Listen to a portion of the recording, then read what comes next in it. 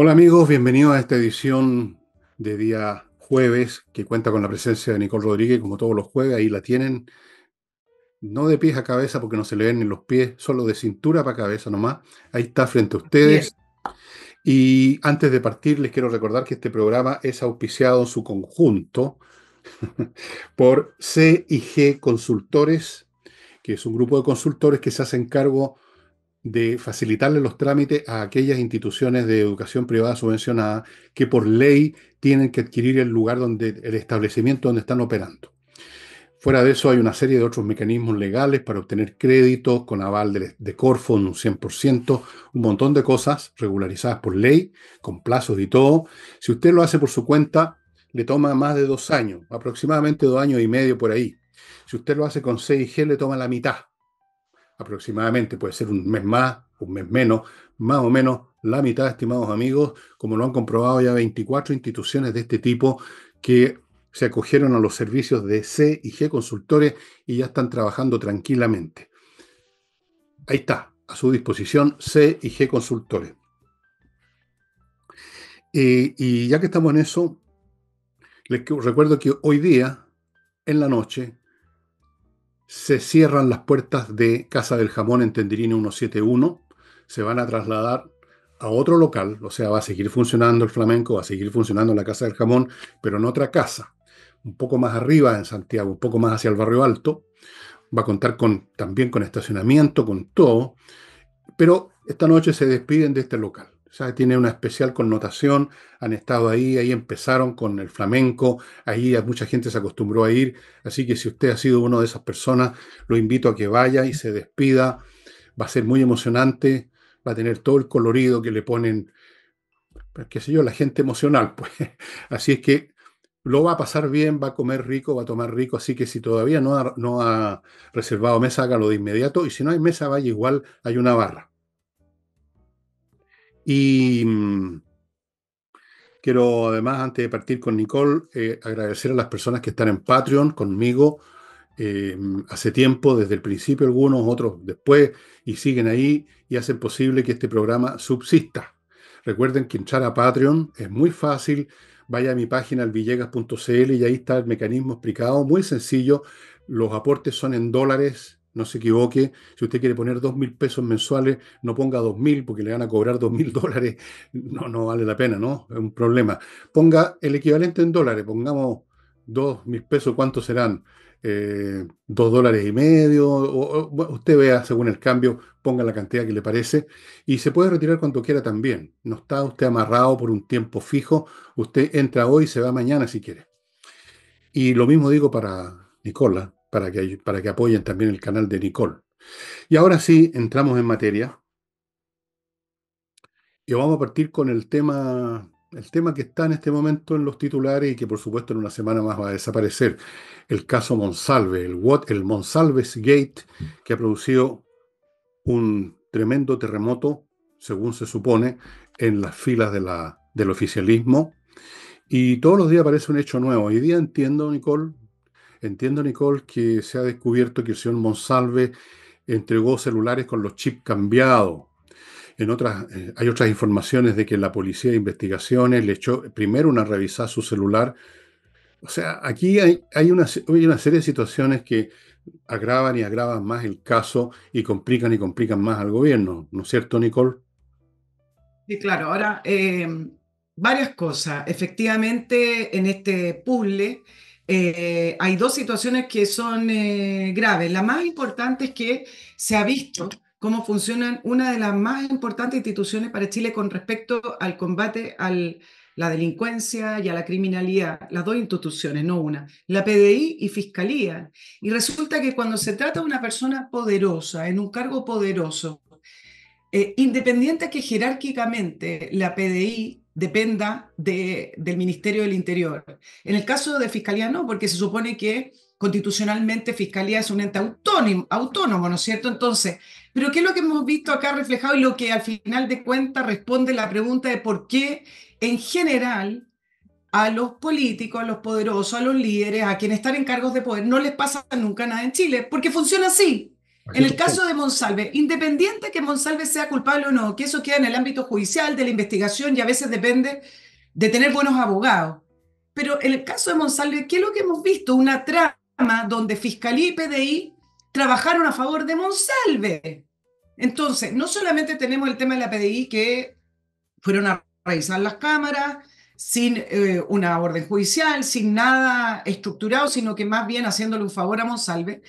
Tenemos que además el fiscal Armendari se juntó, se reunió con Monsalve antes de que esto estallara. ¿Qué hace el fiscal Armendari que está a cargo de la investigación juntándose con Monsalve? Las explicaciones que se dan son burdas. En el caso de la PDI, por ejemplo, Eduardo Serna decía que jerárquicamente le corresponde eh, darle información a la ministra del Interior. Y acá yo quiero hacer una diferencia que es sumamente relevante. Una cosa son las jerarquías, una cosa son las dependencias y otra cosa es la informalidad en la comunicación. Si Eduardo Serna dice que porque jerárquicamente depende del Ministerio del Interior, tiene que juntarse con la ministra Toa y contarle todo lo que está pasando y contarle la investigación o lo que le haya dicho, esa comunicación tiene que ser de una manera formal. No tiene por qué ser un llamado en el cual nadie de nosotros sabemos lo que conversaron y lo que le dijo el, eh, director Serna a la ministra Toa.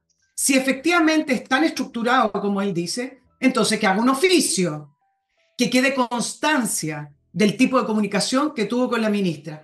Pero es todo el lote, es todo de una manera tan eh, eh, campestre, de un Chile que ya no es, de un Chile de amigos, sigue siendo amigo, de un Chile en el cual eh, las fidelidades son entre los cargos porque se conocen, porque a lo mejor incluso el, el, dato de que el director de la PDI fue quien estaba a cargo de la seguridad y, cuando la ministra Toá era alcaldesa de Santiago, es decir, se conocen de hace un tiempo. Todas estas cosas no son irrelevantes, porque al final hace que las instituciones no funcionen como instituciones, funcionan como predios para mantener el poder y además para mantener eh, encubierto en caso de eh, delito a, quienes son poderosos. Entonces, el actuar de Fiscalía y el actuar de PDI me parece que es lo más grave de este caso. Yo insistí, lo dije el día martes en el programa, sigo insistiendo, que la ministra Orellana diga la estupidez de que no se trata de un portero. Bueno, refleja la inconsistencia, refleja que no creen en nada, reflejan al final de cuentas cómo piensan también con respecto al poder. Pero esto tiene que ver con algo institucional, del funcionamiento de las instituciones, de esa democracia que la ministra Toda dijo que había que cuidar, ¿cierto? A propósito del atentado al candidato alcalde de, de Ercilla, que también es sumamente grave. Si quiere cuidar las instituciones, las instituciones no pueden funcionar al alero de las amistades o de la cercanía. Las instituciones tienen que funcionar de esa manera jerárquica. No conocemos el tenor, no conocemos la información de lo que se comunicó entre el fiscal Armendari, dicho sea de paso, su señora es de Revolución Democrática, el mismo fiscal de la Metropolitana Oriente que eh, realizó esa reunión eh, muy poquito después del 19 de octubre del año, del año 2019, cuando se juntaron en reunión de fiscales en noviembre para decir que había que investigar los delitos de, de lesa humanidad, los delitos de derechos humanos, fue prácticamente noviembre. Él hizo esa reunión. Entonces, ese mismo fiscal, el que se reúne de una manera no prudente con eh, Monsalve, quien estaba siendo investigado. Eso es lo que tenemos en las instituciones de Chile y me parece que podemos hablar después del desorden del gobierno. Yo creo que están mintiendo y por eso se enredan, pero con respecto a las instituciones, me parece brutal lo que estamos viendo. No estamos viendo nada brutal, Nicole, estamos viendo lo normal. Las instituciones pero lo estamos viendo sí, las instituciones nunca han funcionado como en los libros de texto de ciencias políticas o de educación cívica. Tú hablaste de que están funcionando como predios. Son predios y siempre lo han sido. Yo los invito a ustedes, estimados amigos, que lean un poco de historia de Chile. Ahí hay varios autores importantes como de los clásicos, Encina y otros. Vean ustedes cómo funcionaba el poder, vean ustedes cómo funcionan las instituciones, cómo se pueden imaginar que los titulares de las distintas instituciones no van a tener ningún contacto si pertenecen a la misma generación, si tienen las mismas ideas políticas, si tienen los mismos intereses en cuanto a seguir ahí manteniéndose arriba en la élite. En ninguna parte del mundo funcionaban las instituciones como en un organigrama trazado en un pizarrón. Hay toda clase de contactos informales, eso son lo que, es lo que predomina. Los telefonazos, las reuniones en clubes, en casas, en cenas, en almuerzo, en pasillo. Eso es como funcionan las instituciones. No las vean como aparecen en los libros de texto. Eso no es así. Estamos viendo simplemente algo que ocurre siempre, solo que ahora se sabe. Se sabe porque todo el mundo, porque hay más medios de que se sepan las cosas. Porque hay más hocicones, si ustedes quieren. Porque están los medios de, no sé, ¿cómo se llama? Estos medios de comunicación digitales. Están los tipos que mandan una información anónimamente. Se saben las cosas y antes no. ¿Cómo se sabían antes las cosas? No se sabían, estimados amigos, no salían, era, una, era cosas de caballero. Quedaban en el Club de la Unión encerrados y ahí no se movían. Rara vez aparecía un escándalo de este tipo. Y cuando aparecía un escándalo de este tipo, era exactamente de este tipo. Era lo mismo. El transvasije de influencias, de contactos, para un propósito, mantener las cosas funcionando de tal manera que nosotros todos nosotros, el Club del Poder, sigue ahí arriba. Y entonces, efectivamente, las instituciones son como un fondo. El fondo tú lo manejas para tu beneficio, no para responder a las leyes universales de la agricultura, para tu beneficio. Y eso es lo que estamos viendo. Y casi diría yo, me voy a atrever a decir, para que me reten, que es bastante humano Sí, pues todas estas personas no son robots, se conocen, son amigos, tienen contactos de todo tipo. Obviamente que no están en, no está en sus naturalezas tocar un botón para echar a andar automáticamente la máquina de la ley. No, si esa cuestión no funciona así. O sea, hagan cuenta que es una familia. ¿Qué hace un papá con un, cuando descubre que el hijo se robó algo en el supermercado? Los trata de proteger. Pues. Claro, así funciona la cuestión. Solo que se sabe y solo que los que no forman parte de ese club, o sea, todos nosotros, estamos picados, nos molesta, porque nosotros no estamos defendiendo nada, nosotros no estamos arriba, nosotros no formamos parte del club, entonces nos podemos dar el lujo del purismo. Y está bien, tiene que ser así para que de vez en cuando haya una especie de unos cuantos escobazos para rectificar un poco para que este amiguismo institucionalizado no pase ciertos mínimos que ya llevan las cosas, digamos, al nepotismo total.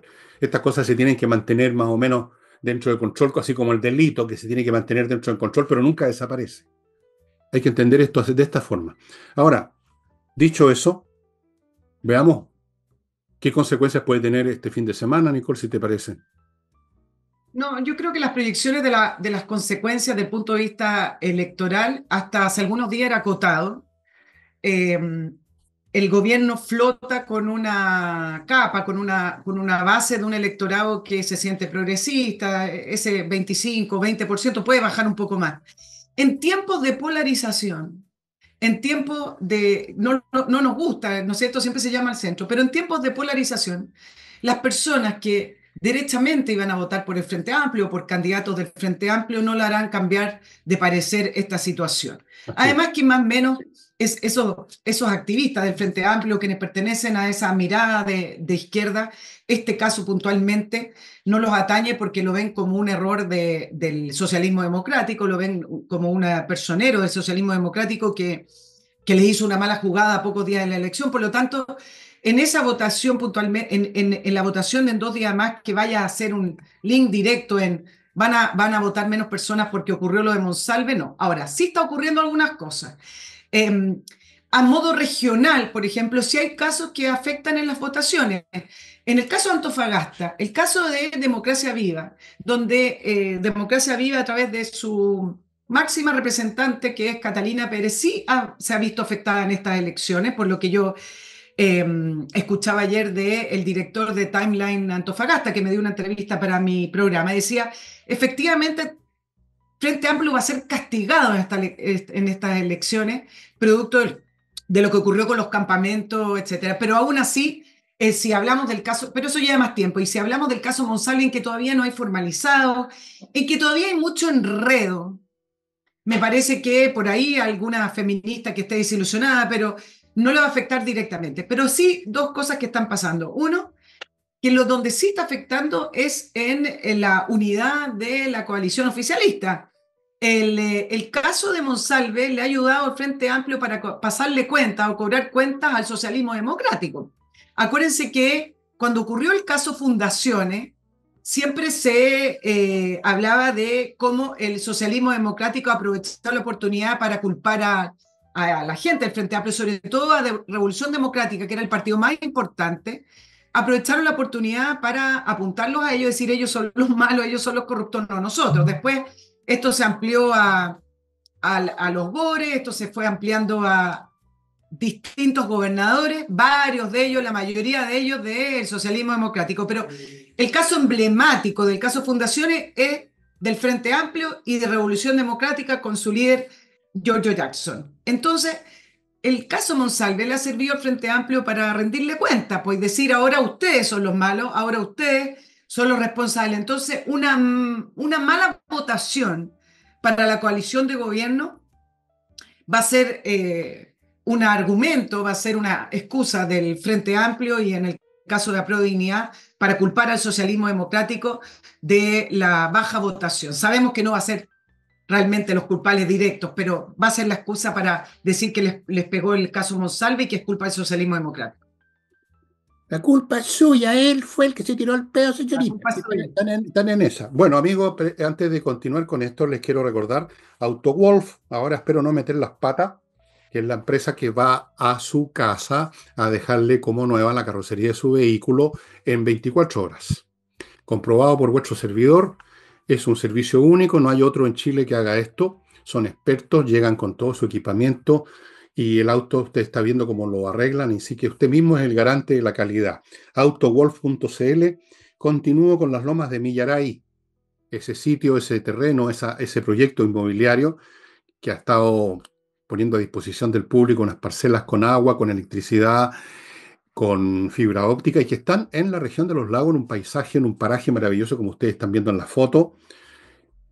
Ahora hay una oferta, hay de, de, las parcelas, de, los, de, las propiedades que están en el sector G, que llaman ellos, y que los bajaron a 28 millones de pesos, sí y solo sí, si usted menciona el nombre de San Fernando Villega porque yo me convierto en santo si les permito un descuento, por favor, denme una comisioncita. No, 28 palos, estimados amigos. Acuérdense que estas parcelas ahí en esa, en esa región, en, el, en las lomas de Millaray, está a solo 5 minutos más o menos de la comuna de Los Muermos, donde usted puede encontrar supermercado y todas esas cosas, y a solo media hora de Puerto Montt, donde además de todas esas otras cosas está el aeropuerto. Así que es una estupenda posibilidad.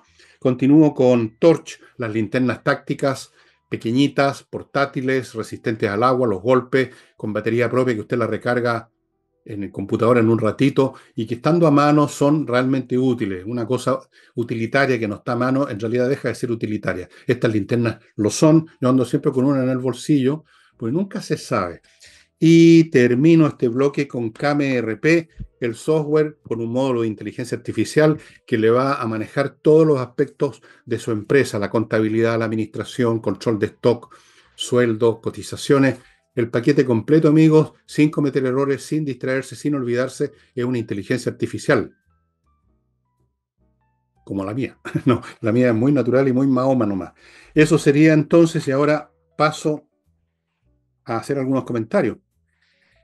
Bueno, con Monsalves pasa, me acordé, no sé por qué, Nicole, de una famosa frase que se le adjudica a Nixon, al, expresidente Nixon, uno de los tipos más inteligentes que tenía, entre paréntesis, la, la Casa Blanca. ¿eh? Entonces, alguna vez alguien le dijo que tal o cual dictador con el cual Estados Unidos tenía relaciones era, era un, un, asesino, un torturador, un desgraciado. Y Nixon dijo, sí, es un hijo de puta, pero es nuestro hijo de puta. Entonces, de Monsalve puede decir, sí, es nuestro abusador, pero es nuestro abusador y lo vamos a defender y vamos a protegerlo hasta el final. Y esto es parte, amigos, de una defensa que no tiene opciones. El oficialismo no se va a partir. Se pueden tirar los platos por la cabeza con un matrimonio viejo que ya apenas se toleran, pero ese matrimonio va a seguir porque no hay opciones. ¿Han visto ustedes que un divorcio entre dos viejos de 78 años? No ya están metidos ahí tienen unas costumbres, tienen necesidades. El matrimonio va a seguir hasta que uno de los cónyuges se muera. Lo mismo acá. ¿A dónde se iría el socialismo llamado democrático? No tienen a dónde irse. ¿A dónde, qué haría la izquierda dura sin el socialismo democrático que le presta voto y le presta, por, a veces un poco fachado, se la prestó? Nada. Tan atados los unos a los otros, se pueden decir para su madre, pero van a seguir estando juntos hasta el día del juicio final. Sus pitutos, sus cargos, sus carreras políticas, sus posiciones, su, lo que les quede de prestigio, todo depende que sigan arriba, encaramados en el poder. Y para eso se necesitan mutuamente. Y van a ir a las elecciones juntas y ustedes ven con qué mayor facilidad que la oposición se las arreglan para llegar con listas más o menos unitarias, porque saben que les va la vida en eso. Así que no esperemos ninguna desintegración. Ya hemos visto antes espectáculo de las peleas y los platos volando por los aires. Y ustedes ven que siguen funcionando. Y los mismos socialistas de repente hablan, algunos de ellos he escuchado declaraciones que hay que, eh, no hay que atacar a, Boris, que hay que defender a Boris. Claro, sí, es, es, el, es el barco, no, no se quieren hundir. No se quieren hundir y no se van a hundir, salvo que los hundamos nosotros, los torpedemos nosotros los electores este fin de semana, no se olviden amigos. Claro, ahora, lo que sí puede cambiar es la correlación de fuerzas. ¿ah? Eh, es quién predomina o quién domina el bloque, el, bloque oficialismo. Y ahí sí importa porque tiene que ver con, la, con las personas. Paulina Bodanovich, a propósito de eso, tú tienes toda la razón. La presidenta del Partido Socialista ya estaba llamando a la unidad. Que dejaran la diferencia. Porque bueno, también estamos hablando de que Monsalve es socialista y eh, todos los dardos apuntan al, al, socialismo y a, y a Monsalve. Pero hay un tema, Fernando, además, eh, que se me olvidó ah, con respecto a las instituciones que me parece brutal. Ah. Hoy día, mientras grabábamos, se supo en este puzzle que va saliendo informaciones que Monsalve ordenó a ese grupo de la PDI contactar a la denunciante y que ese grupo de la PDI se acercaron al departamento de la denunciante. Y yo acá les voy a levantar una pregunta. ¿Cuál es la diferencia entre esto y el crimen organizado que manda recadito con eh, soldados a alguien que está denunciando o alguien que va a hacer una denuncia o cuando hay un, problema entre dos. ¿Cuál es la diferencia de mandar esos soldaditos a lo que está haciendo o lo que hizo supuestamente Monsalve con esa denunciante? Esto se llama crimen organizado y está utilizando y utilizó a una de las instituciones más importantes en Chile para el combate a la delincuencia, la está utilizando como el crimen organizado de una manera irregular, informal, pidiéndole que vaya no solamente a revisar las cámaras, sino que se acerque al departamento de la, de la denunciante que quería amedrentarla o lo que sea. Bueno, esa es una de las informaciones que se supo mientras grabamos. Entonces, a medida que va saliendo todo esto, más complejo, más complejo es el, el panorama que uno se puede hacer de la manera en que se utilizan estas instituciones en, eh, en, Chile. Claro, son predios, son predios y, se opera de esa manera. Me imagino un funcionario de PDI que le, lo llama Monsalve o quien sea la autoridad y le dice, oye viejito, tenéis que ir a decirle a esta niña, antes de hablar con ella, pone la pistola, la clock arriba de la mesa, así nada más que por, por, por aliviarte un peso y dile, convéncele que no vale la pena, etcétera. ¿Qué hace el funcionario? inmediatamente todos piensan, oye, pucha, si no hago esto, van a haber sanciones, van a haber vendetta, mi carrera va a peligrar, el día de mañana van a buscar un pretexto para echarme porque no soy confiable. Eso pasa. Eso lo vemos en las oficinas normales, en cosas normales. Un jefe te pide un favor que en realidad no es muy correcto y tú dices, bueno, sí, pero en una de esas tengo que estar en buena con el jefe. Esa es la frase que todos dicen, ¿no? Tenemos que estar en buena con el jefe. El día, además, me estoy acordando que el próximo mes estoy pensando ir a pedirle un aumento de sueldo. Entonces, entran todas esas consideraciones. Yo no me imagino a un soldado, como lo llamas tú, de la PDI, diciendo, no, señor, ¿dónde está la orden judicial? ¿Cómo se le ocurre que voy a ir a hacer? No, nadie hace eso. Ni siquiera los jefes de sus policías. Así funcionan los seres humanos en instituciones o fuera de instituciones. El que está arriba, el que manda, es capaz de convertir en una manga de cordero a 500 personas, solo porque tiene un cargo. Así funcionan las sociedades. Finalmente, sí, es una cosa muy misteriosa y muy interesante cómo funcionan los mecanismos de obediencia y de obsecuencia en una sociedad que permiten que las sociedades más o menos funcionen. Ustedes lo piensan y empiezan a adentrarse en el tema de cómo funciona el poder, para lo cual estoy escribiendo un libro, se van a encontrar con que se dan estas, estas paradojas de que un individuo, uno, que no tiene más poder que otro, desde el punto de vista físico, que no está con una pistola en la mano, es capaz de generar conductas colectivas de una institución completa. Muy interesante, muy interesante. Y aquí tenemos un ejemplo. Por eso que voy a, por última vez les digo, espero que sea la última vez, así funcionan las instituciones en Chile y en todas partes, así han funcionado siempre y así van a funcionar siempre, mientras seamos seres humanos y no robots. Punto. Punto. Bueno, otra, otra de, de las consecuencias que está teniendo es para el gobierno, para el presidente y para una de las personas más importantes del gobierno, que es la ministra del Interior, la ministra Carolina Toá, eh, donde está en la primera línea del problema junto con el presidente, que son las dos autoridades más importantes que tenemos, porque en esta confusión de vocería, no sé si ustedes pudieron percibir esto, pero todos hablan en el gobierno, no hay un orden, no hay un, un diseño comunicacional. Hay un desorden de vocería donde cada vocería entre Cordero, Orellana, Toá y otros que han, que han hablado, la ministra Vallejo, todos se van contradiciendo. A veces yo me pregunto si eso no tiene una intencionalidad, porque a dos días de las elecciones, el que sea todo tan confuso, tú no sacas unas conclusiones y dices, bueno, hay que esperar y ver.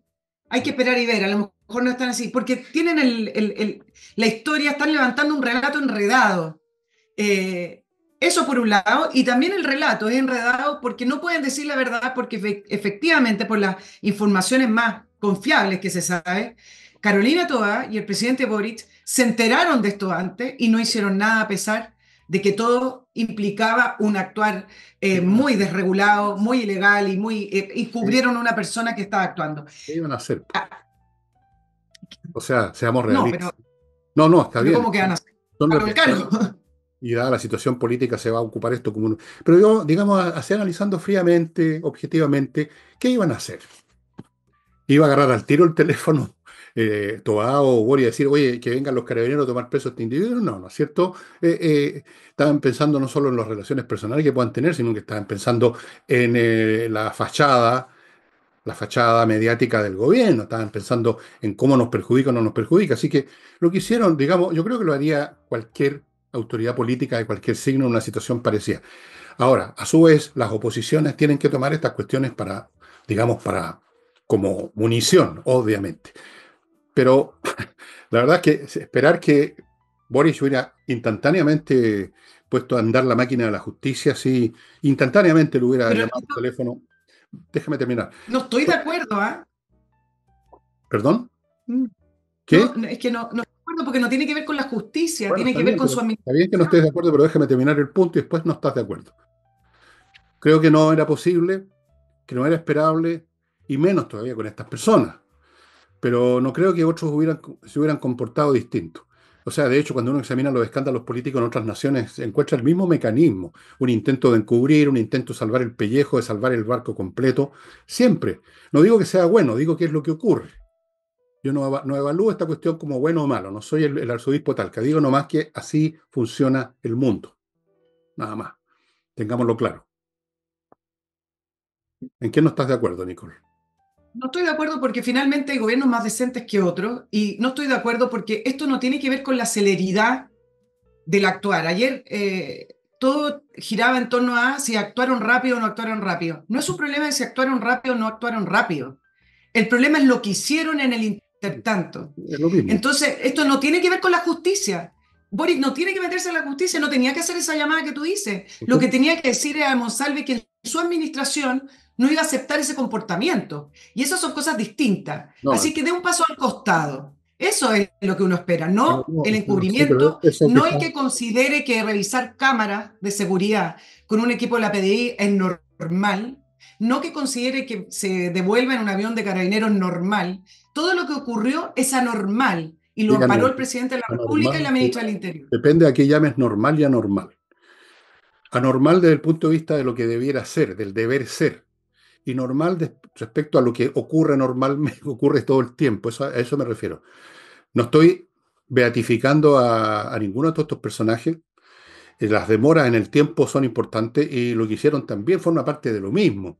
O sea, No, no, no actuar de inmediato es una parte de la cosa. La otra parte es también ayudar, qué sé yo, poner el avión, lo que sea. Obviamente que tiene que ver con el mismo proceso de tratar de salvar el pellejo político de ese individuo y con el individuo todo el colectivo político. No digo que sea bueno, yo, eso del deber ser, yo me acuerdo siempre de Hegel cuando, cuando se habla así de que debió haberse hecho esto y deberse lo demás ya. está bien, pero no ocurre, no, no ocurre. Ahora, la oposición sí tiene un deber, tiene el deber de hacer uso de eso usando el argumento que usas tú, que pueden ser, sin decirlo porque suena feo, bueno, todos los gobiernos en realidad hay bastantes irregularidades, pero hay algunos que son peores que otros. Efectivamente pueden haber algunos peores que otros, porque están en situaciones peores que otras, en situaciones más críticas que otras. Yo recuerdo un escándalo que hubo en la época, fíjate, mira para cuántos años me voy, en la época de Jorge Alessandro Rodríguez, con un ministro de Hacienda que aprovechó una información relativa al valor del dólar con el peso, o eran los escudos en esa época, no me acuerdo, y entonces hizo un negociado por información que no debía tener. Fue un escándalo, era grandísima. Y, y fue el único que yo recuerdo porque los demás pasaron piola. Las cosas quedaban tapadas y a veces se sabían 20 años después porque había investigado un historiador. Lo mismo con Arturo Alessandri Palmas. Usted le, lean a, a, Ricardo Donoso, historiador de la época. De... Eso es todo. Ahora, lo que debe ser y lo que no debe ser se lo dejo al arzobispo Talca. No, pero es que en Maya hay una institucionalidad. Esto no es predicar de lo que debe ser. No, no, no, no estamos entrando en un ambiente moral y ético, estamos hablando de la institucionalidad. Estamos hablando de que en, en informaciones claras y precisas, el ministro, el subsecretario en su momento, pasó a llevar la institucionalidad y eso un presidente no lo puede tolerar. El presidente Boric no tiene ninguna responsabilidad de los actos privados del subsecretario Monsalve, pero tiene la responsabilidad de conducir un gobierno dentro de la legalidad e institucionalidad. Y eso es precisamente lo que no hizo. Ahora, por eso el enredo, digo, porque como no lo hicieron, salen todas estas vocerías que incluso había una instrucción de gobierno de ordenar las vocerías. No lo lograron hacer esto es como una, un grupo de cabros chicos tratando de defenderse.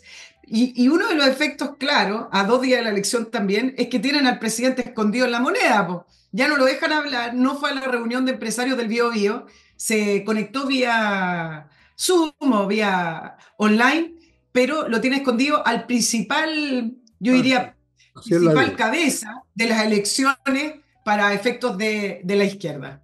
Así es la vida. Tú cometes una irregularidad que todo el mundo las comete, pero algunos los pillan y otros no, y algunos, digamos, les vuelve el boomerang y les pega en la nariz. Eso es lo que le está pasando al gobierno. Eh, quiero insistir en un punto porque ya no quiero ser majadero, pero que quede claro, yo no estoy bendiciendo los actos de nadie, simplemente examino como un entomólogo examina las cucarachas cómo funciona la gente. Punto. Nada más. No le digo a las cucarachas, ustedes no debieran salir, eh, digamos, debajo de la alacena de, la, de la cocina, tienen que estar escondidas. No, simplemente veo cómo se conducen y, tal vez podría decir, debieran quedarse escondidas, pero en el fondo no lo hacen nunca. Uno apaga la luz y salen corriendo como locas. Em, cuesta mucho distinguir entre los seres humanos y las cucarachas. Es difícil de repente.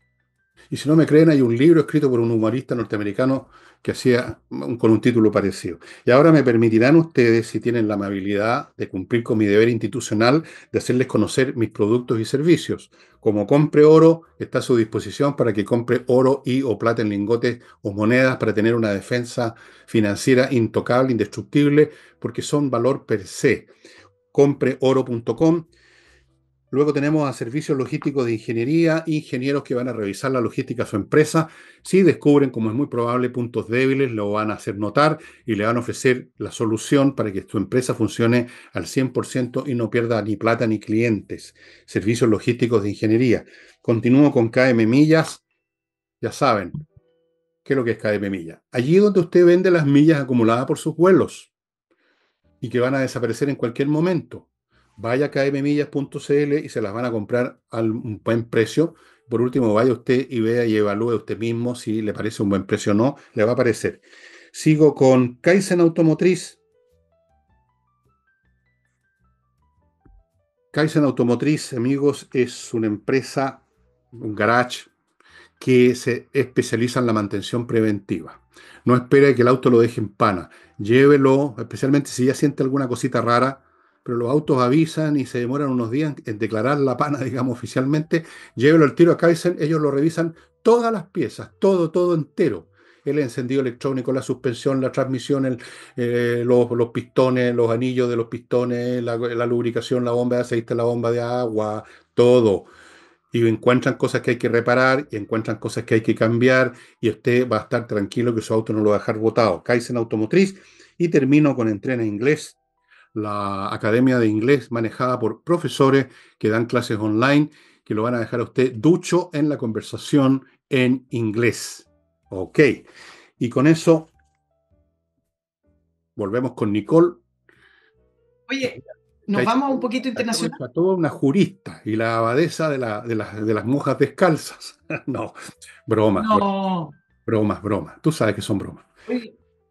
¿A dónde dices que no? El, tema del BRICS eh, es súper relevante lo que está ocurriendo porque a, dos años y, más de la, invasión de Rusia a, a Ucrania, este es el evento internacional de más alto perfil que lidera Putin, porque que acuérdense que el BRICS se está celebrando en Kazán, en Rusia. Pareciera ser que es un territorio protegido donde pueden viajar los dictadores que tienen órdenes de detenciones como Maduro de Venezuela, que es uno, yo creo que es el primer viaje internacional que hace. Uy, el club de eh, los, mafiosos. Mira, mira el club, pero está interesante este club. Mira, bueno, Brasil habría que analizarlo, ¿no? Pero está Rusia, China, eh, Sudáfrica, India, que son de los de, de los fundadores, de, lo, de, quienes fueron originalmente eh, quienes propiciaron el BRICS en el año 2009. Pero el BRICS se amplió y acá vienen los socios que son más interesantes. Está Irán, eh, Etiopía, Egipto, Arabia Saudita y Emiratos Árabes Unidos. Ahora, no hay que mirarlo en menos desde el punto de vista económico porque en, en esta economía suman el 37% del PIB mundial. Entonces, varias cosas que decir porque el hecho de que se esté celebrando esta reunión de los BRICS en, eh, Rusia, con un eh, Putin liderando las reuniones, con muchas visitas de líderes internacionales. No van a creer, pero incluso se dice en estos días que lo va a visitar, que habría aceptado la invitación Antonio Gutiérrez, de el secretario general de la ONU, y ahí se levantó Zelensky a decir, ¿cómo es posible que el secretario general de la ONU visite a las BRICS en Rusia, recibido por Putin, siendo que hace muy pocos meses atrás lo invitaron a la cumbre de la paz a Ucrania y no fue. Entonces acá la única conclusión es que no solamente la ONU vendía, sino que Antonio Gutiérrez va a buscar plata, es decir, te presto mi imagen, le doy salud a Putin en Kazán y vamos pasando, ¿no? Gutiérrez es un personaje muy, muy, muy penca, pues ya lo ha comprobado ya. Gutiérrez y muchos otros.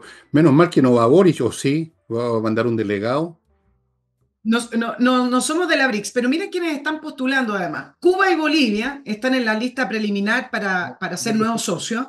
Está postulando Nicaragua y Venezuela. ¿Qué pasa con las BRICS? En las BRICS uno era un país integrante, pero resulta que ahora abrieron una nueva categoría que, en la cual tú puedes ser socio. Es como cuando tú eres socio del Mercosur y no eres integrante del Mercosur, lo que significa que tienes eh, menos restricciones, tienen menos, menos, menos institucionalidad que, ir respetando.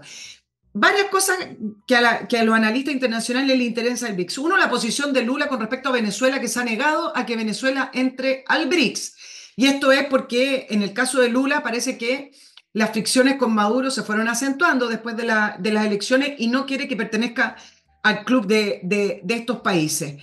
Por otro lado, muchos analistas apuntaban al hecho de que con esta reunión lo que está demostrando Putin es que todo este tema de las sanciones internacionales, de aislarlo internacionalmente, a dos años y varios meses de la invasión a Ucrania ya no funciona y que él puede ser incluso no solamente participar de foros internacionales, sino que además ser el anfitrión, donde van más de 36 delegaciones a, a visitarlo y en el fondo participar de un concierto internacional que no es de Occidente, pero de un concierto internacional que tiene, que tiene peso. Por otro lado, con esto de las sanciones internacionales, uno de los objetivos del BRICS es poder crear un nuevo sistema SWIFT. El sistema SWIFT es el que se usa para el eh, intercambio económico internacional, que es el más común, el más utilizado y el más certero. Con el tema de las sanciones internacionales, se han levantado otros sistemas para poder eh, desviarlas y poder pasarlas por alto. Ninguno le hace el peso a SWIFT y la idea que tienen las BRICS es poder crear un sistema que sea general para estos países y que puedan eh, pasar por alto esta, estas sanciones. Pero principalmente la reunión tiene que ver con decirle a Occidente que ellos son un peso, eh, que ellos no van a aceptar la hegemonía de Occidente, tampoco de Estados Unidos, y que ellos pueden funcionar independiente a sanciones o independiente a que los tilden de dictadura. La Unión Europea sacó algunas alertas diciendo que si las BRICS se refuerzan, para ellos no es una buena noticia, eh, pero habría que ver cuando termine la reunión cuáles son las conclusiones y si efectivamente logran algo, porque estos países también son muy disímiles entre sí y no necesariamente van a tener consenso en todo lo que quieren sacar adelante. Sí, bueno, es ahí una de las otras de las manifestaciones de cómo se desarticuló el orden, el llamado orden mundial, donde efectivamente Estados Unidos era el hegemón. El sistema monetario internacional estaba basado en el dólar, todavía en gran parte está basado en el dólar.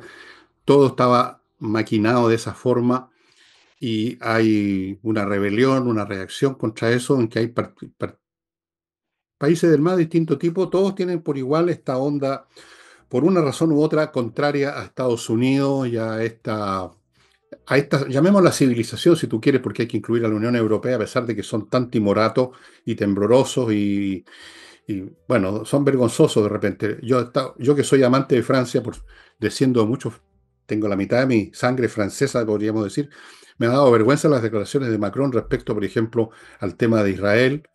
Han manifestado algunos en distintas cosas debilidades espantosas, pero bueno, en fin, eso ya no es tema mío, yo no estoy, no puedo hacer nada al respecto. Eh, ese es un tema. Y volvamos a Chile, si te parece, porque yo creo que hay que enfatizar, quiero enfatizar un punto, amigos, que este fin de semana es el primer paso del proceso, espero yo, de sustitución de este gobierno en su momento por otro más decente. Y no me refiero a decente simplemente que no hayan Monsalve, porque en Monsalve van a haber siempre, van a siempre hombres y mujeres que cometen eh, delitos o que se son arrastrados por el trago o por la calentura o por el odio, por la pasión, por las hormonas, porque somos seres humanos. Me refiero más decente en su ejecución, en, su, en sus objetivos, en todo, en su manera de mirar el país, que es la, la que tenemos casi todos la mayoría, como se demostró en el primer plebiscito. Así que yo me salgo a mi rol aquí de comentarista y me convierto en predicador. Ahora les digo, amigos de la oposición, vayan a votar, aunque no les agrade tanto el titular de la candidatura de su comuna. No es necesario que amen al candidato o que les guste 100%. Aquí no se trata de personas, se trata de bloques o usted es de oposición o es oficialista. Hay que votar por la oposición aunque no nos gusten los opositores. Hay que generar las condiciones que eventualmente en el futuro nos permitan ganar a la oposición las presidenciales.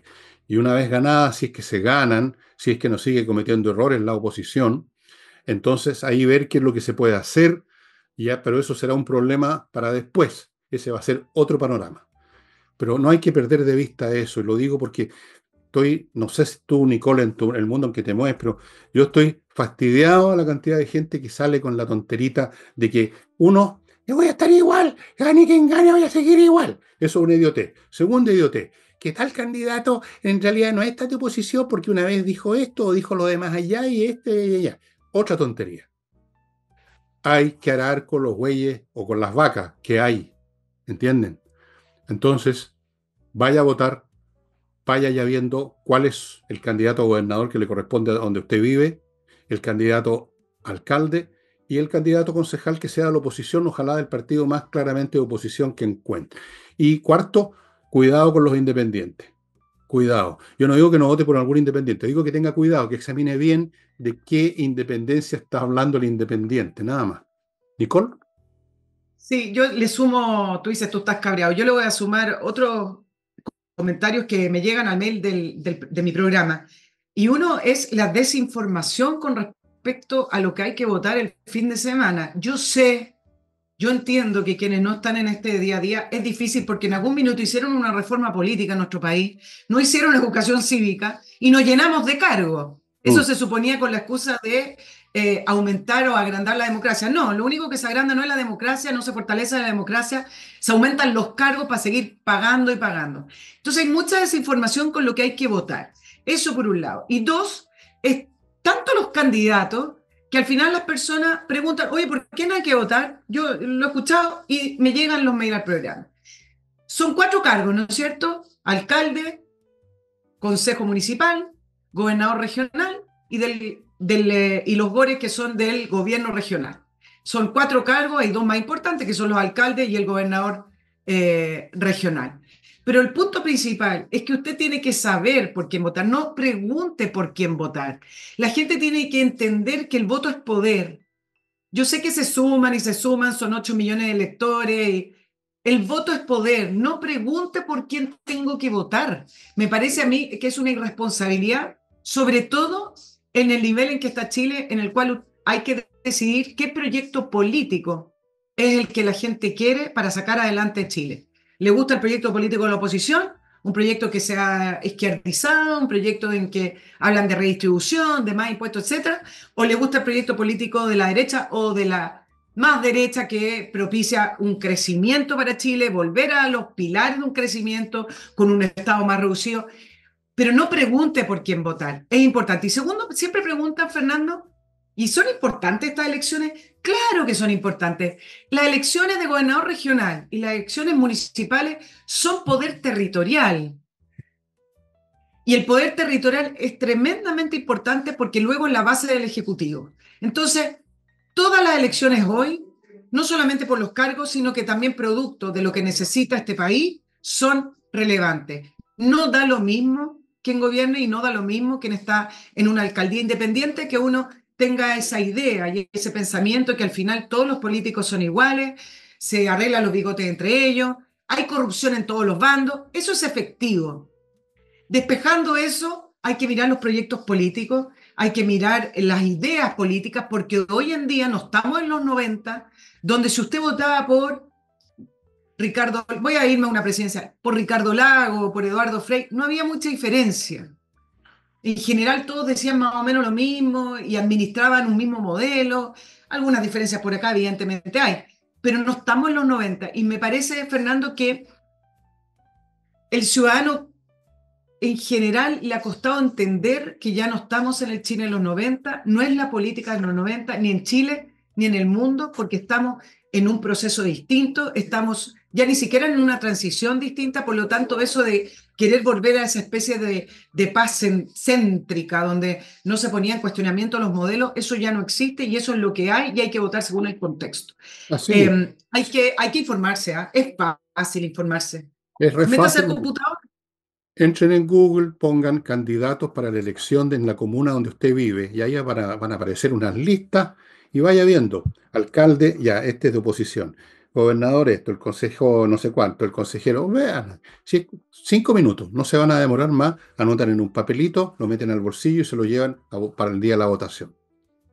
Y cuidado con las, con las confusiones, porque por ejemplo para gobernador hay dos borregos que se están ofreciendo. Uno es oficialista y el otro es de oposición. Uno se llama Claudio Rego, ese es el oficialista, y el otro se llama Francisco Rego, es el de oposición. Usted verá por quién vota, pero tenga clara la diferencia. Somos grandes ya, pues somos adultos, córtenla, digamos. Em, Yo creo que ese infantilismo en la votación es lo que nos costó un gobierno de gente que no estaba preparada, bueno, ignorante. Hay, uno puede tener distintas posiciones políticas o distintas ideas políticas o distintos proyectos po- políticos y en eso uno puede discutir. Pero lo que no se puede discutir es que estamos en manos de personas que no estaban preparadas, en, personas que son muy ignorantes y en personas que no tienen idea eh, la sensibilidad y los efectos que tiene en un país el hecho de administrarlo como lo están haciendo, porque tenemos un país estancado y un país parado. Claro, usted se levanta todos los días, respira, trabaja, pero en términos generales es un país parado que, en el cual se le han acentuado sus crisis. Ni siquiera hemos tenido tiempo de hablar la, la crisis de la salud. Hay cosas que están como invisibilizadas con estos casos tan grandes como el de Monsalver o el caso Audio, de instituciones de Poder Judicial. Claro, son importantes, pero hay muchas crisis dando vuelta en Chile que no se han hecho cargo y que con sus ideas tampoco se van a poder hacer cargo, pero, pero estamos en manos de personas que no tienen idea de cómo hacerlo. No, y además que quieren hacer la revolución. No solamente no tienen idea, sino que tienen malas ideas. Ese es el tema. Porque el, tipo que no tiene idea de repente puede aprender, hasta el más tonto algún día aprende, ¿no? ¿Dónde está la máquina de hacer café? Estos quieren cambiar todo. Todo. Y quedaron paralizados porque fracasaron en el plebiscito. Si no, si no, no estarían paralizados, estarían, estarían empujando su, su proyecto. Quizás en qué, en qué estaríamos, Nicole. Hay una sola cosa que es la piedra del tope de esta gente, y ustedes saben cuál es. La piedra del tope. Por el momento, porque la están tratando de destruir. No, necesito decir, ¿no? Eso es lo que les falta. Para eso hay un grupo de personas que están como locos tratando de empujar por un lado la piedra del tope.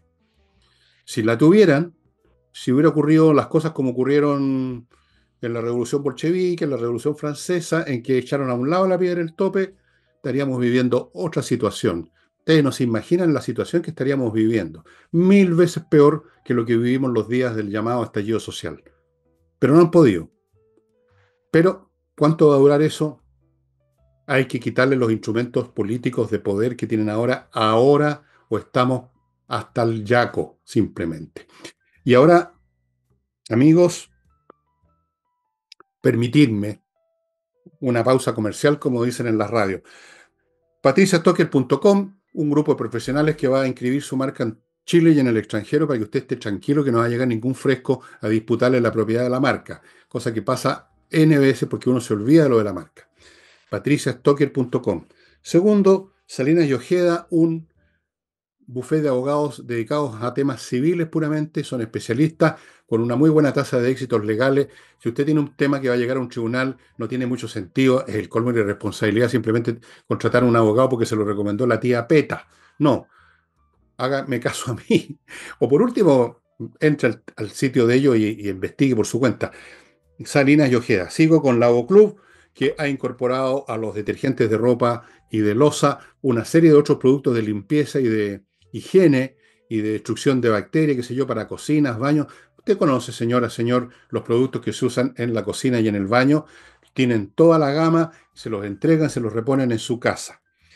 Y sigo con seguridadamérica.com, que es una empresa que se dedica a examinar cuán segura realmente es su empresa en términos informáticos.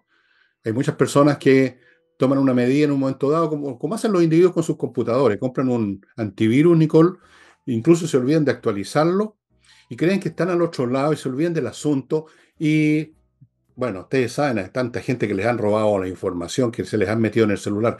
Esto es un tema de cuidado de todos los días. Seguridad América revisa su supuesta defensa, va a encontrar los puntos débiles, le va a ofrecer los productos informáticos de blindaje, va a entrenar y preparar a la gente, su empresa, para hacer uso, para actualizar, porque el aspecto humano nunca se queda de lado, tiene que haber alguien tomando acciones también junto con los programas. Todo eso con seguridadamérica.com. Bueno, no, ni, ni Nicole ni yo queremos convertirnos en predicadores, así como esas iglesias evangélicas que montan una carpa en Wyoming y, llegan los granjeros así con sus overoles azules y le, le empiezan a contar cuentos. No, yo creo que ya les hemos dicho suficiente que hay que tomarse en serio y tener claro lo que se está jugando en el país.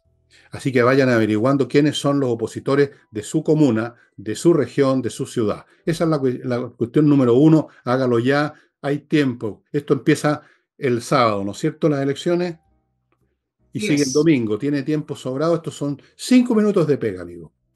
Yo lo hice. No tenía idea quiénes eran los consejeros, por ejemplo. Sabía quién era el candidato a alcalde y el candidato a gobernador, pero no sabía lo otro. Bueno, me demoré unos minutos en Google y ya tengo claro por quién voy a votar. Hágalo usted también, si no es tan difícil. Todos podemos hacerlo. Hasta yo lo pude hacer, que soy un poquitito retardado, lo pude hacer, ni un problema. Em, ¿tenemos, otros tenemos otros temas, Nicole. Bueno, no sé cuántos minutos nos queda, no, no, no creo que alcance a hablar de la crisis de los hospitales, eh, pero mientras grabamos... 10 minutos, te, te, alcanzas, alcanzas. Sí, se. Bueno, hay dos grandes crisis en Chile ¿ah? y que realmente no, no, no se están tomando las medidas ni las políticas necesarias. Una es la educación. Eh, este, este miércoles 20 estudiantes, pero mira el nivel que estamos, 20 estudiantes del INBA, del... Del Instituto Nacional Barros, Barros Arana, salieron 20 estudiantes lesionados porque les estalló una bomba molotov mientras la estaban manipulando en el baño del colegio. Son menores, estaban eh, protestando, espero que la, la prensa no diga una manifestación pacífica, pero ¿cómo es que menores, en los cuales además tienen que tener, me imagino, respeto por la, la, las reglas del, del establecimiento, pueden estar manipulando artefactos explosivos en el baño y eh, tener una molotov que les explote. Y claro, ahora están todos preocupados que hay algunos con eh, heridas muy graves que fueron derivados a, a hospitales. Pobres niños, van a decir, menores de edad. Es que hay dos temas acá que, que creo que en Chile no, no, no, se ha hecho de una manera de una manera eficiente y tampoco se ha tomado mucho, mucho no se la ha tomado en consideración. Y son dos cosas. Siempre se habla de eh, la ley aula segura, de volver a, tener orden en los establecimientos, las medidas disciplinarias, porque no vuelve la medida disciplinaria, ok, y está bien.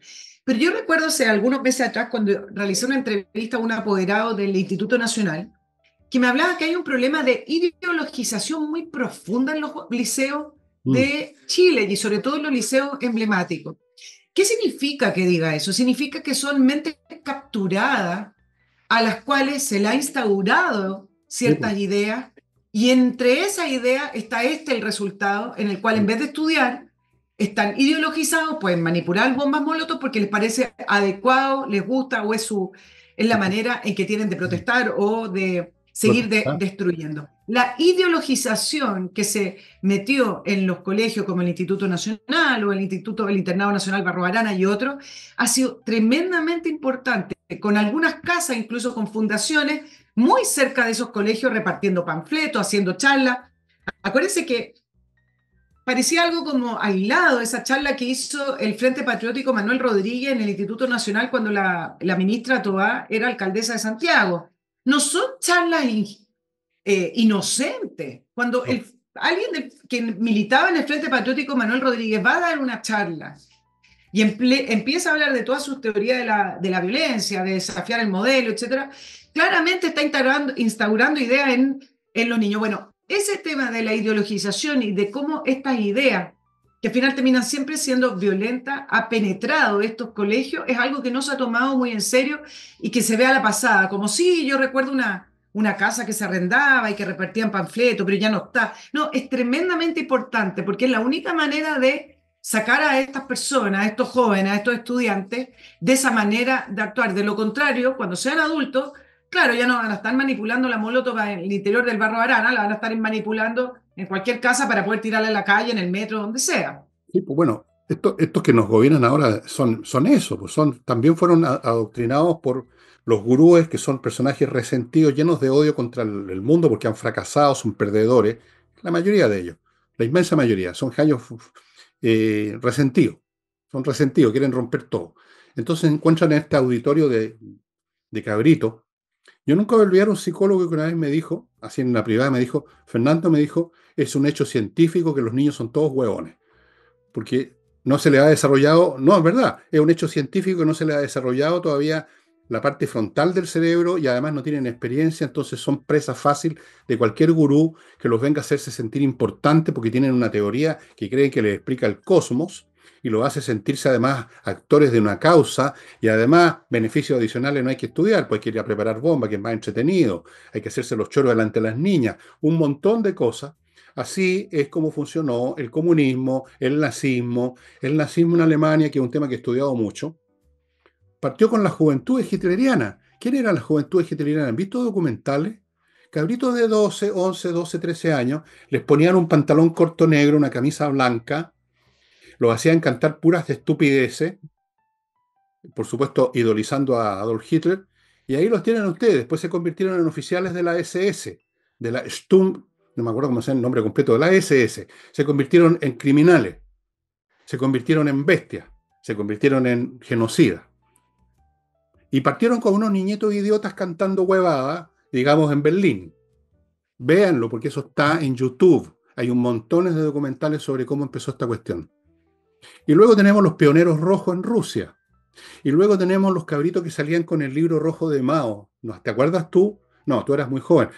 Fotos, puedes verlo en video, los cabritos de 11, 12, 13 años, millones de ellos, porque todo es en millones, en China, agitando el libro rojo de Mao y luego tirando por la ventana a los profesores.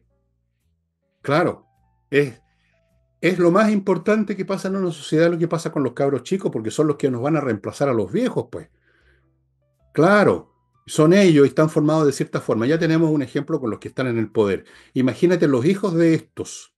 Imagínate los hijos de los Vallejo, de los Winter y de todos estos personajes, qué clase de mentalidad van a tener. O sea, van a empezar a preparar las molotov a los cuatro años ya. Pues. Les van a pasar una moto, molotov en vez de una muñeca o en vez de un triciclo. No sé. Amigos, eh, déjenme recordarles, por favor, a estos talentosos creadores de software que están en una empresa llamada Urantiacos, que ustedes ubican en urantiacos.cl y que se especializan en crear software para el tratamiento de datos, el procesamiento de datos de las grandes organizaciones. O sea, un software hecho a la medida de lo que su empresa, su organización necesita de acuerdo al tipo de datos. No es lo mismo tener los datos, sean los datos de persona o sean datos de mercadería, son cosas diferentes. El procesamiento de datos, el diseño del sitio web, aplicaciones móviles, el paquete completo, urantiacos.cl y sigo con remodeling, puros profesionales para remodelar sus pisos, sus paredes, los muebles de cocina, lo que usted necesite, profesionales que responden y termino con Ángel Hey, que es una empresa que es el propietario de esta empresa de corredores inmobiliarios que venden porque tienen métodos muy especiales, porque trabajan como locos, se dedican a pocas casas, concentran su esfuerzo en pocas cosas. Ustedes ya les he dicho, ellos no creen en eso de caminar y mascar chicle como yo no creo, nunca he creído. Entonces se concentran y obtienen resultados. Ya, dicho lo cual... Oye, solo para terminar el tema de la ideologización es tremendamente importante. Cuando ocurrió el atentado, el, ataque brutal terrorista del 7 de octubre en, en Israel, eh, producido por Hamas, eh, vino toda la, respuesta de Israel y uno de los primeros planteamientos, porque siempre se presionó a Netanyahu y a Israel con respecto a llegar a un acuerdo inmediato con Hamas, llegar a un acuerdo de paz, que, que no haya una escalada, ¿ves que esa es la palabra? La escalada está hace rato. Mm. El, Medio Oriente está tomado por grupos terroristas financiados por Irán y financiados por agencias de la ONU, donde a través de esas agencias se lava dinero. Y por países árabes también financiado por los países árabes. El otro día, esto entre paréntesis, salió un informe del financiamiento de Hezbollah. Eh, había mucho eh, financiamiento directo desde Irán, pero hay otras fuentes de financiamiento que tiene que ver el lavado de dinero, que venía de la droga y de los carteles latinoamericanos. Y la tercera fuente de financiamiento es a través de las agencias de la ONU. Entonces, hay todo un mecanismo para financiar grupos terroristas, no solamente porque quizá haya gente que quiere apoyar una causa, una mal llamada causa, sino que porque también siempre el crimen organizado le conviene y busca desestabilizar los países, desestabilizar las regiones, porque a mayor inestabilidad, mayor es la penetración del crimen organizado. ¿Qué pasó en Chile? Cuando hubo una explosión de penetración de crimen organizado. Lo hemos tenido, ¿ah? se venía incubando, se venía incubando. Pero posterior a octubre del año 2019 vino una, una, una presencia explosiva del crimen organizado en Chile. ¿En qué coincide eso? Con un Estado debilitado, con un país que estaba totalmente eh, por el suelo y estaba totalmente desestabilizado. Entonces, todo este financiamiento de grupos terroristas no solo tiene que ver y yo diría que la menor parte tiene que ver con que alguien con su corazón se pone la, la mano al corazón y dice voy a donar para los niños palestinos. Tiene que ver con eso, tiene que ver con la geopolítica y tiene que ver con el poder. Tres fuentes de financiamiento que se les cubrió Hezbollah ahora que eh, bombardearon eh, un, un búnker que tenía más bien que ver con un banco que estaba abajo un hospital, eh, donde estaba uno de los líderes financieros de Hezbollah tres fuentes de financiamiento, son esas, la agencia de la ONU, Irán y el lavado de dinero, y por primera vez salen los carteles de droga latinoamericanos como una fuente bastante importante de financiamiento. Bueno, pero el punto que quería hacer, Fernando, para terminar y redondear con respecto a la ideologización, tiene que ver con que cuando se le preguntó a Netanyahu y se le empezó a presionar, no el 7 de octubre, pero el 8 de octubre, a un acuerdo de paz, él decía, no se puede llegar a un acuerdo de paz sin antes tener un programa y toda una política que saque la ideología de odio de la gente de Gaza. Cuando tú tienes niños que han crecido con libros en que le dicen que hay que matar judíos o que los judíos o Israel es el enemigo, es imposible lograr la paz. Y el tema de la ideologización es algo que ha quedado un poquito más en el olvido porque estamos en plena guerra y han habido otras cosas más eh, relevantes más impactantes, pero la ideologización es la única, des, desideologizar a esas poblaciones, haciendo el símil como con respecto a, estos grupos de niños, es la única manera de conseguir ciertos objetivos de paz en algunas partes y en algunas zonas. Claro, y para, y para terminar con la ideologización, tú tienes que terminar con los ideólogos. Tú tienes que terminar a esos tipos que son los que ideologizan. Si dejas a uno libre, rápidamente forma a sus discípulos y forma a otros profesores y empieza todo de nuevo el cuento nunca acabar. Bueno, amigos, lo que sí va a acabar, y esto sí que es un cuento que acaba de este programa en este momento, les agradezco su visita, su presencia. Eh, nos acercamos, ya estamos encima de las elecciones. No sé qué voy a hacer el sábado y el domingo, para serles franco, pero como de costumbre voy a hacer programas. Yo hago programas de todas maneras. Eh, me imagino que el domingo, en vez de hacer un programa de media hora sobre temas internacionales así generales, voy a esperar resultados de la. vamos a esperar que ya hayan resultados, porque el domingo en la noche tendrían que estar todos los resultados finales, me imagino. Supongo que va a ser especial en ese sentido. Y el sábado no sé, pero lo importante aquí no es mi programa, es que ustedes vayan a votar bien informados, como les ha dicho Nicole, como les he dicho yo, y etcétera. Muchas gracias por su atención y nos estamos viendo mañana. Chao. Chao, chao.